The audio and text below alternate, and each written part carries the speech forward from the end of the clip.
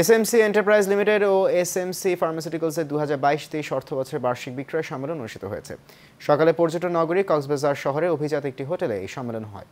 এতে প্রধান অতিথি হিসেবে উপস্থিত ছিলেন এসএমসির বোর্ড অফ ডিরেক্টরসের চেয়ারম্যান ওয়ালিউল ইসলাম।